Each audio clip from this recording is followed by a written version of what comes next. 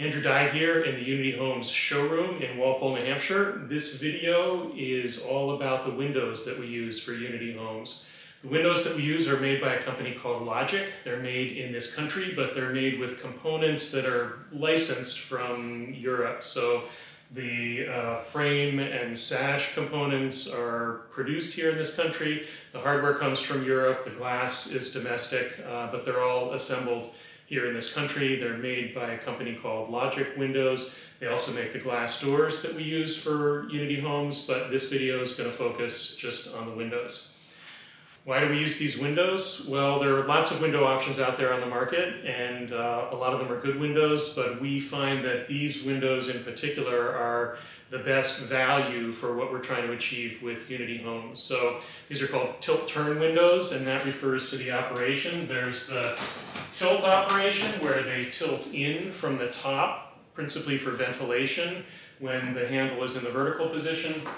And the turn mode, when the handle is horizontal, means that they turn inward. So this is obviously very handy for cleaning the outside of the window.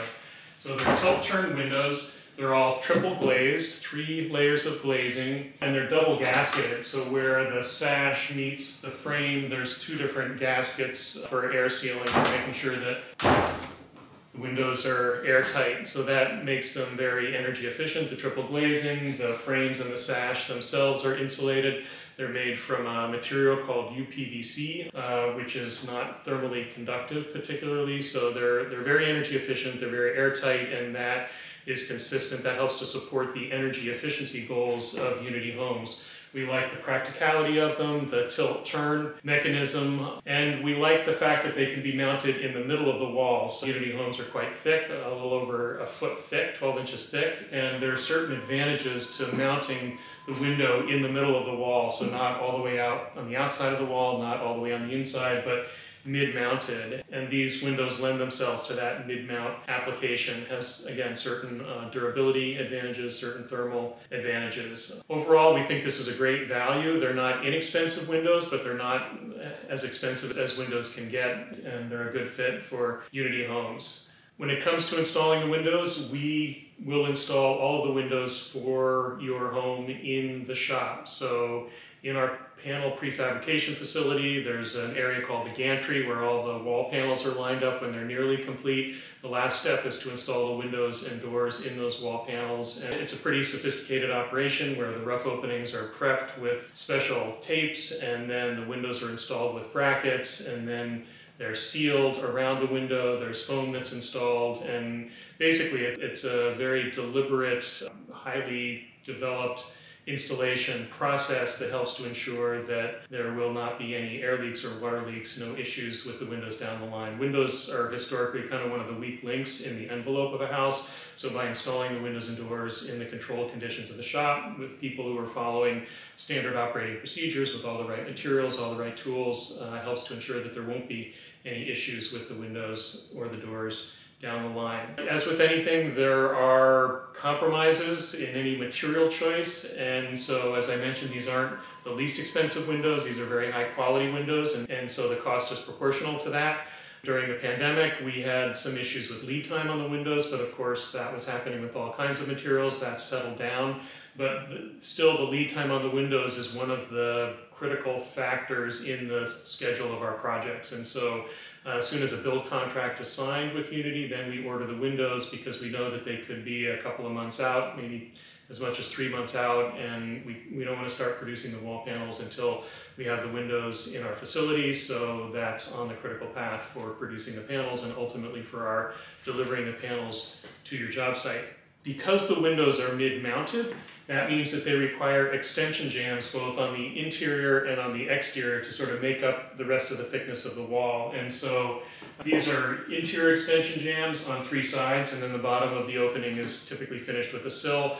There are different styles of interior finish, which we'll get into, and on the exterior of the window, you can't really see it, but there are uh, similar extension jambs that are about five inches wide that go out to the plane where the siding is attached to the outside wall. So extension jambs on the inside and on the outside, not a big deal. It's just that carpentry that's needed for the mid-mounted windows. And again, we have details that show how all that is to be done. A couple of sort of minor points. Uh, the glazing that's used in these windows is not available in impact resistant glass, and so there are certain jurisdictions, like Dade County, Florida, for example, where glass is required to kind of you know resist shooting a 2 by 4 out of a cannon or something and so this glass doesn't pass the impact resistant tests if you are in one of those few if you're building in one of those areas where that's a requirement and it's very few areas then there are ways around that in terms of exterior shutters uh, things like that that protect the glass. But I can't think of a project yet where that's actually come up, a, a Unity project in the you know close to 200 homes that we've built over the last 10 years. Final thing I'll mention is just the, the UPVC itself, and PVC is not considered a particularly green material, but any material that's durable can be considered sustainable in some ways. Any material we use in construction is going to be somewhat of a compromise. The, the UPVC, the U part, makes it more recyclable theoretically because it doesn't have some of the nasty chemicals, the plasticizers that, that may be found in PVC. So uh, it's a compromise. We can live with it. We think it's a good value. We think it makes sense for our homes. And there are lots of other companies building high performance homes that are using UPVC windows as well for their many benefits. So I talked about how the windows open, the tilt mode from the top, hinged at the bottom, the turn mode. The windows come in left and right versions. Uh, so windows with the handle on the left and windows with the handle on the right. And in the floor plans that we develop for your design, we will indicate the hinging of the windows, the left-handed or the right-handed, on the floor plans. There's a little key that shows which way it goes, and uh, so it's important to pay attention to that key to understand how your windows are going to operate. Obviously, windows that open in will have implications for the furniture in the room, so you don't want to have something tall in front of a window where the window could potentially open up and hit it. You also don't want to have a window opening onto a kitchen sink faucet that is sticking up above the bottom of the window. So if there are two windows above the kitchen sink, it's nice to center the faucet uh, between the two windows so that both of the sashes clear that faucet when they open, or to get a faucet that's low enough. If you have a single opening window above your sink, get a faucet that's low enough that the bottom of the window clears it, or make the window high enough to clear it, or have a fixed window. So they come in left and right versions. They also come in fixed unit versions. Uh, we would typically use those up high, say in a vaulted xyla in a gable end where nobody's ever going to get up there to open the window anyway. You save a little bit of money going with a fixed window. So that's something else to pay attention to in your plan. To go through the floor plan and think about how you're going to use the room and think about the windows, uh, which ones you're going to want to open, maybe for cross ventilation during the summertime, which ones you're probably never going to want to open. And again, you can save some money by going with the fixed windows rather than operable windows. So in addition to the, the swing options, the left and the right, the windows come in different sizes. This one happens to be uh, a medium-sized window. We, we have them in small, medium, and large. Uh, and we, we stick with those sizes for Unity. That's one of the ways that we're able to provide more efficiency and value by limiting the number of choices, but we found that these three sizes actually work well for most of our projects. And so this is a medium-sized window. The larger window is the same width, they're all the same width, the larger window comes down lower, and the smaller window doesn't come down as far. And the head heights typically are all fixed, so you're going to see the same head height in a, in a room or in a house going around for the tops of the windows, and what varies is how far down from that head height the window comes, if it's a small window, a medium window, or a large window.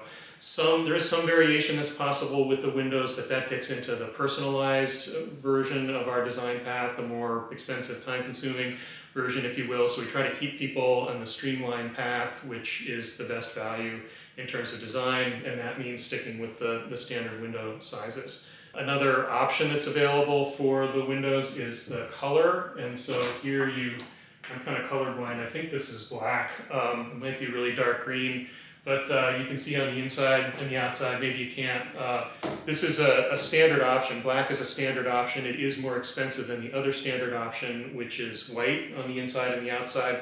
A lot of the windows end up white, although this black is kind of a, a contemporary look that's been popular in the last few years. Uh, various colors are available. Also, they represent an upcharge, uh, and that would be again more in the personalized, the kind of more custom path. The, the finish on this is actually a foil finish that's kind of baked on. It's not painted. It, it's challenging to paint these windows, so it's good to get the color right with the initial order.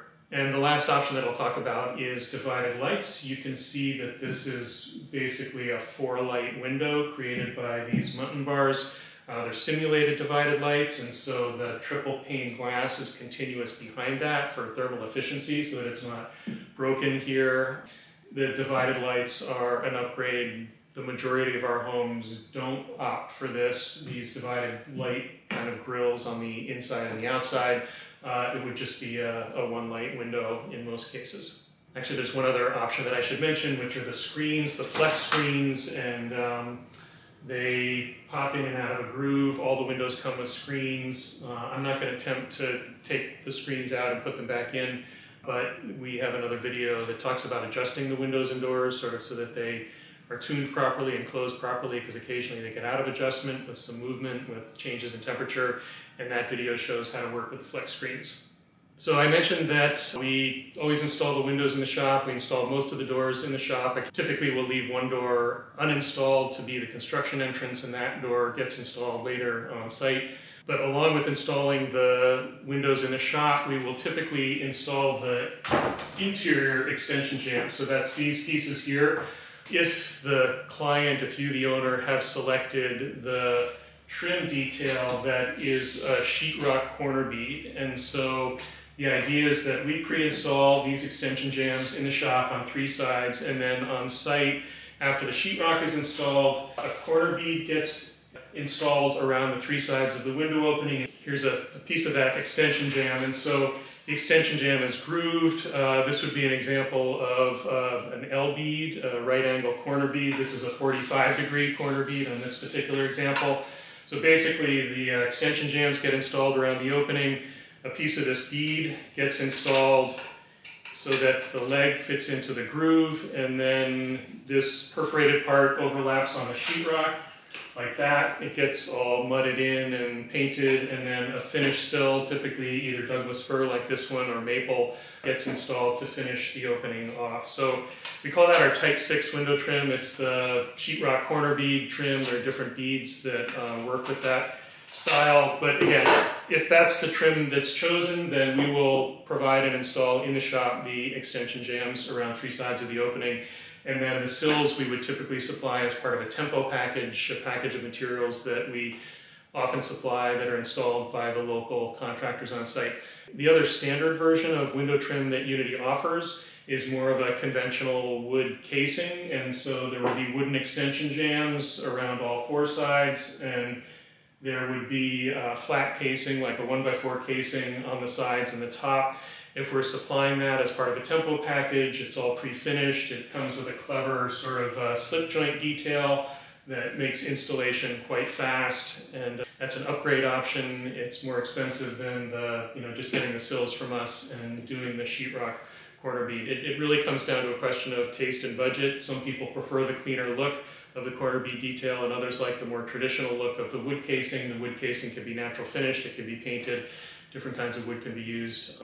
And, and if you don't opt for a tempo package, then any detail is really possible that you and your local builder want to come up with for finishing the interiors of the windows as long as there's that extension jamb component of it. I want to talk a little bit about window treatment options because the way that you would finish in terms of interior decorating a window like this is going to be different than the way you would finish a double hung window, which just goes up and down, or a casement window, which is going to open out because these open in, anything that is in front of this window is going to obstruct the opening of the window. So you can go with curtains where you'd have a curtain rod mounted above the window, kind of on the face of the wall, and the curtains would come back far enough so that the window could be opened without running into the curtains coming down the side.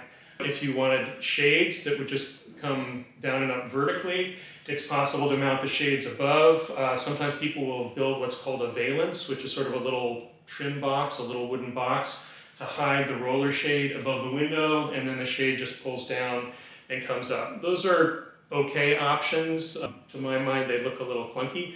There are systems that are designed to work specifically with these tilt turn windows, and sometimes they're mounted directly to the sash. So if you're looking for privacy, there are blinds that you can get that mount to the top of the sash and just come down or even come up from the bottom, sort of pleated Venetian blinds. Um, it's also possible to get obscured glass if you want permanent privacy, say for a window in a bathroom. But the, the treatments that are mounted on the sash make a lot of sense for these windows because then the treatments just kind of follow the glass and um, they're pretty unobtrusive.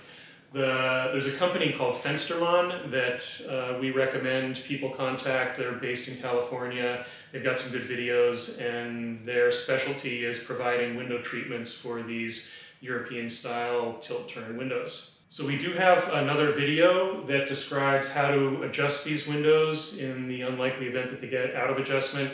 Typically we'll have the windows adjusted after the shell of the house is assembled to make sure that they're all operating properly, they latch the way they're supposed to, they're all lined up, they're all sealing properly. Occasionally with extremes of temperature changes, cold and hot, the the windows might move a little bit, and we have this other video in which Ray Zabel shows how to adjust the windows and the doors to make sure that they're operating properly. And the windows are fairly maintenance free. I mean, they need to be cleaned, but that's easy to do. The, the moving parts should be lubricated once a year, and aside from that, they really don't need much the windows have, uh, they come with a kind of standard 10-year warranty, and if there are any issues with the windows, then you would reach out to Unity, you'd reach out to your project manager, and we would uh, coordinate getting the windows serviced. I think that's it. If you have any questions that weren't answered, feel free to put them in the comments under this video or reach out to one of Unity's sales advisors via a contact us form on Unity's website. Thank you for watching.